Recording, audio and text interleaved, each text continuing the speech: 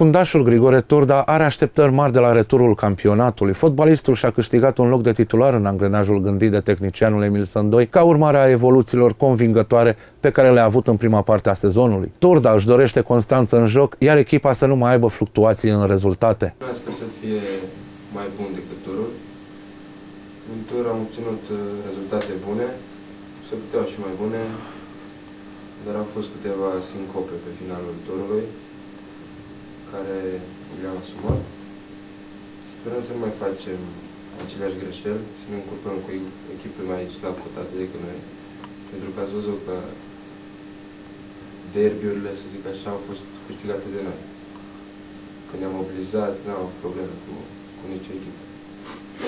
Și colegul său, atacantul Cătălin Barbu, își dorește un parcurs foarte bun în partea secundă a acestei ediții de campionat.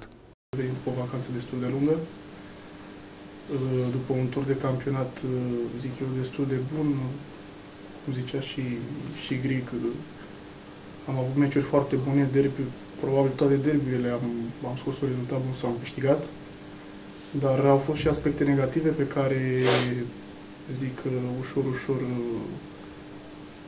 le-am reparat și le-am gestionat cum trebuie.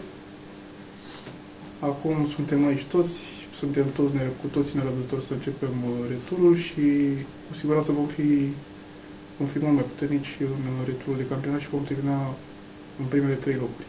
Piteștenii au încheiat prima parte a sezonului pe locul 6 cu 41 de puncte, cu 5 mai puțin decât liderul Sportul Znagov.